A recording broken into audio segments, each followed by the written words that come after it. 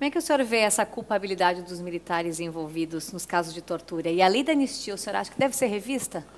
Acho, mas antes de, de chegar na, na, questão da revisão da anistia, eh, eu gostaria de seguir na linha essa desses militares aí. Ah, o país parece estar agora estarrecido com essa figura sinistra do então capitão, hoje coronel, ou tenente-coronel, não sei, Malhães. Ele, esse, esse personagem, logo que nós começamos a ouvir na, uma das investigações que nós temos lá na Comissão Estadual da Verdade é uma coisa que nós chamamos de eh, Porto Alegre Anos de Sumo.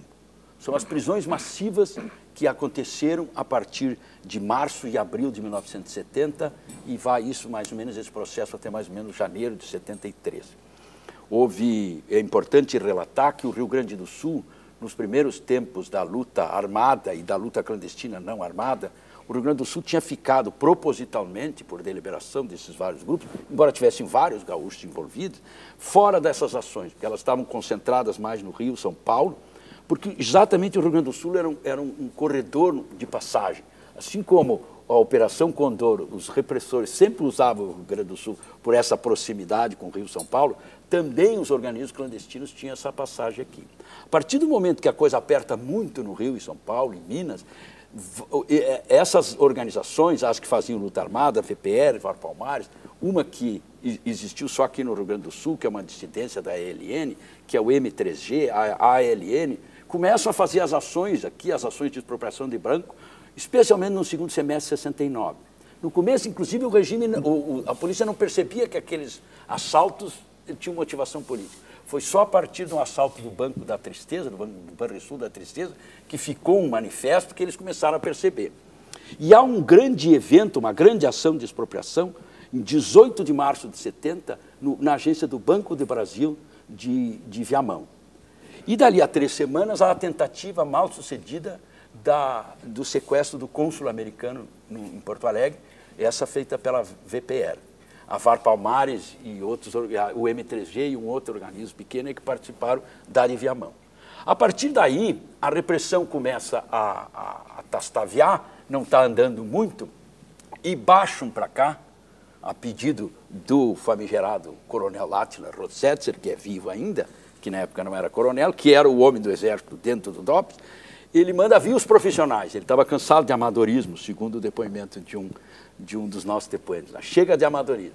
E aí vem essas duas figuras, o, o, o capitão Malhães e um que era sargento, o, o, Cabral. Esse não soube mais dele, provavelmente parece que está morto. E o Paulo Malhães, esse, que também, às vezes ele se titulava Magalhães, tem outros que chamam de Manhães, mas é o Malhães. E esse homem fica aqui até, até 71. E ele introduz a maricota, o choque elétrico no Rio Grande do Sul. Aquela maricota que infligiu tortura lá no, no, no, no, no, Flávio Tavares, que ele conta no Memórias do Esquecimento, que estava inclusive escrito Donation by the People of United States of America. Essa maquineta infernal, que é associada com as antigas técnicas de tortura com o pau de arara, é que é responsável por dizimar todos esses grupos. Porque nós vemos um depoimento impressionante, Suzana, do Raul Carrion, que foi estudante de, de Química e que nos explicou por que o sucesso da maricota. Eles pegaram uma, uma pequena bobina parecida com aquela do telefone de campanha, quem serviu sabe como é, e ela produz, pela, ela transforma energia cinética pelo movimento da manivela em energia elétrica. E pode até atingir uma voltagem alta. Não é a voltagem alta que mata, é a associação da voltagem alta com a amperagem alta. Por isso que a gente morre se for submetido a um choque elétrico a, com a corrente normal que passa. E com a maquineta não porque a, a, a, a, amperagem é baixa, a não ser que a gente tenha um problema antecedente. Como aconteceu com o Amarildo. O Amarildo morreu e é objeto de denúncia, o Ministério Público do Rio de Janeiro está denunciando, porque foi submetido pela Polícia Militar do Rio de Janeiro, hoje dentro de um container, à maquineta, e ele era epilético. Então, o, o, choque da, da, da, da maricota desencadeou a, a, a morte dele. Por isso que a professora Célia Regina Jardim Pinto, nossa colega lá da comissão, e historiadora, as, quando, é, é, quando confrontam com essa pergunta, por que, que a comissão, é, as comissões da verdade ficam futricando com o passado? E ela diz, não, não, não estamos futricando com o passado, nós estamos futricando com o presente. Pois é, a lei da anistia deve ser revista na opinião de vocês ou não?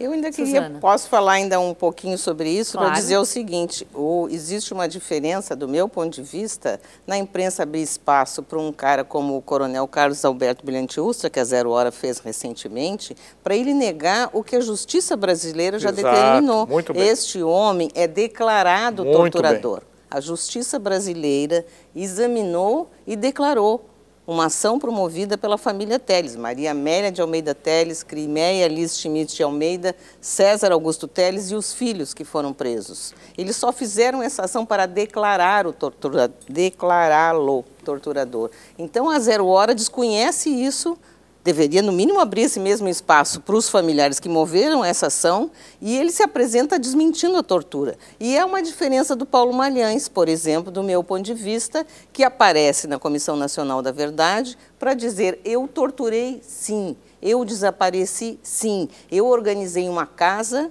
em Petrópolis a mando do Centro de Informações do Exército aquela casa, que é conhecida como a Casa da Morte, que única sobrevivente é Inês Etienne Romeu, deve ter cerca de 12 desaparecidos ali, no mínimo, que a gente sabe, essa casa era mantida pelo Centro de Informações do Exército. Ele diz que ele prestava declarações ao ministro do Exército. E onde é que está a palavra do ministro do Exército nesse momento? Esse homem ganha como coronel do Exército. Então, eu acho que existe essa diferença nas, nessa situação dos dois. E esse Paulo Malhães foi treinado na Escola das Américas. Ele veio para cá não só implantar o choque, como implantar a técnica de interrogatório que eles aprenderam na Escola das Américas. Mantida já... pelos Estados Unidos no canal de Panamá. Isso, é isso. E para onde, e onde o Cabral foi depois?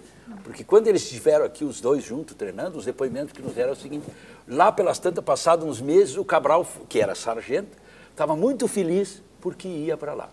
Eu gostei muito do que ela disse, porque só para completar uma coisinha assim, ó, a da questão da lei da anistia. Mas é muito importante mostrar isso, assim, a, a desfaçatez com que o, o cara como o Paulo é. Malhães diz. Ele tem a certeza da impunidade.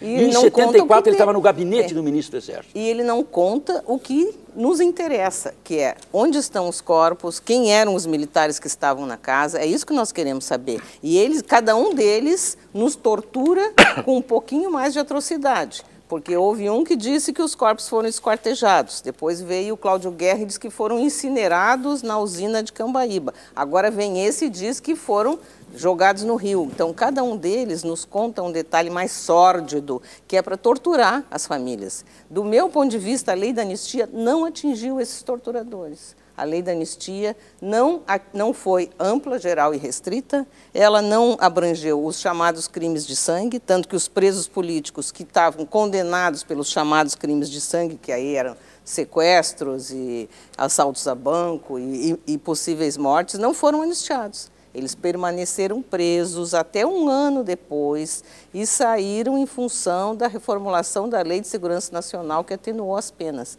em liberdade condicional.